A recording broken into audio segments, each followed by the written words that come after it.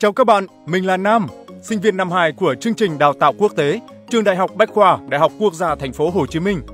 Cũng giống như mọi người, mình đã có một cuộc sống rất bình thường trước khi cô Vi ghé thăm lần thứ tư.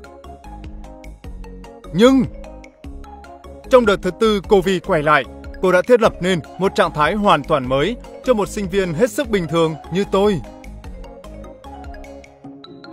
Khi chỉ có một mình, không còn sinh hoạt cuộc sống được gặp thầy cô, bạn bè, thậm chí cách xa gia đình, một mình tôi phải tự đưa ra những lựa chọn cho bản thân trong mỗi hoạt động thường ngày của mình. Nếu là bạn, bạn sẽ lựa chọn một mùa Covid như thế này hay như thế này?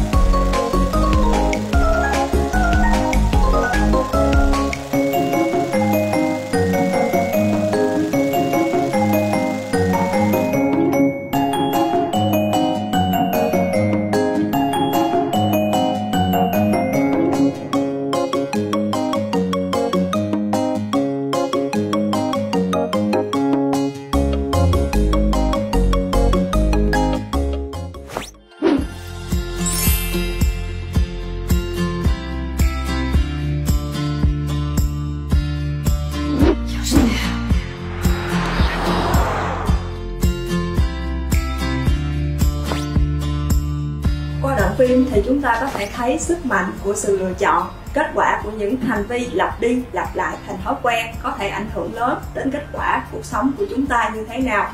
Vậy thì những lựa chọn nào cần phải đưa ra hoặc là những hành vi thói quen nào cần phải rèn luyện để có thể nâng cao sức khỏe đời sống của chúng ta. Cuộc sống với càng nhiều những đòi hỏi từ bên ngoài khiến chúng ta dễ dàng bị cuốn đi lo cho những cái đòi hỏi đó mà quên đi chăm lo cho chính bản thân mình. Từ đó sinh ra những cái vấn đề như trầm cảm, lo âu hay những triệu chứng cơ thể của sức khỏe tâm thần như đau đầu, đau lưng, đau cổ vai gáy, đau dạ dày, vân vân. Vậy thì làm thế nào để chăm lo sức khỏe của chính mình?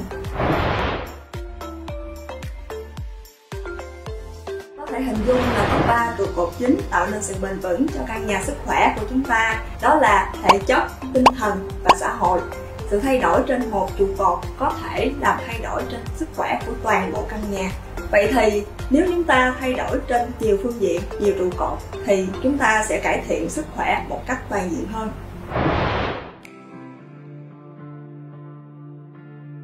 Để tăng cường sự sức khỏe về mặt thể chất, thứ nhất, chúng ta tập thể dục tập thể dục không chỉ khiến chúng ta khỏe mạnh hơn, mà còn có thể giúp cơ thể tiết ra endorphin và serotonin.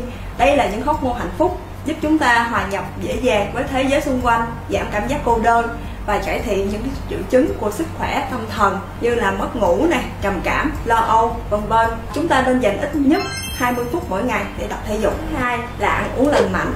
Serotonin là một chất có thể giúp điều hòa giấc ngủ điều hòa sự thèm ăn, điều hòa cảm xúc, ức chế cơn đau. 95% serotonin xuất phát từ đường tiêu hóa nên hệ tiêu hóa không chỉ là giúp chúng ta tiêu hóa thức ăn mà còn giúp chúng ta điều hòa cảm xúc. Những lựa chọn ăn uống hợp lý như ưu tiên tinh bột có nhiều chất xơ, ăn nhiều trái cây, rau, cá, kiêng giảm chất béo bão hòa và đường, giảm muối, đừng bỏ buổi sáng và đừng để khát nước. Thứ ba là giấc ngủ.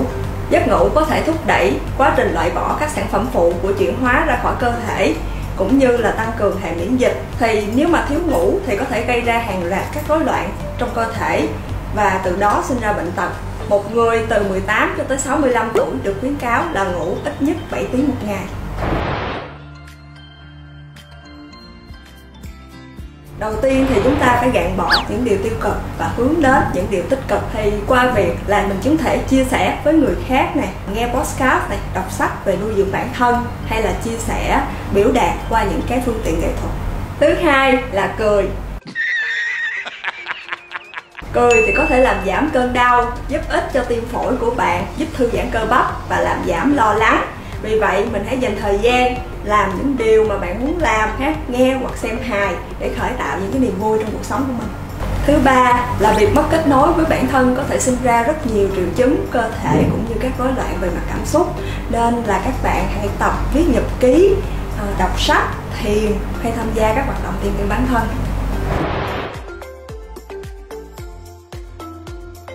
Tiếp theo là tăng cường trụ xã hội. Nghiên cứu cho thấy rằng chất lượng mối quan hệ với người khác ảnh hưởng rất nhiều đến sức khỏe tinh thần của chúng ta. Vì vậy chúng ta hãy dành thời gian vun đắp quan hệ với những người mà bạn cảm thấy thoải mái khi ở bên, những người mà cảm thấy được giá trị của bạn và những người xem xét mối quan tâm của bạn một cách nghiêm túc.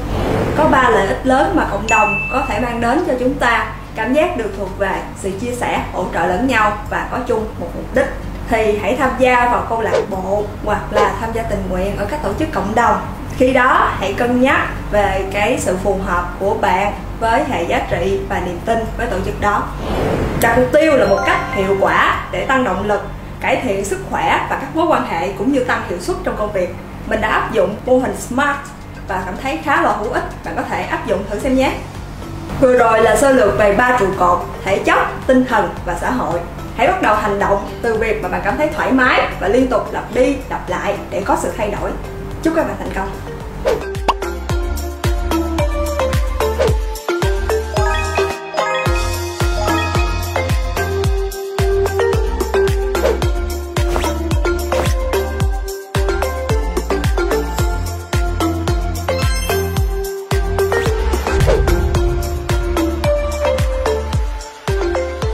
Các bạn ở trường và hãy chờ đón các video tiếp theo tại fanpage OWES của chúng mình nhé.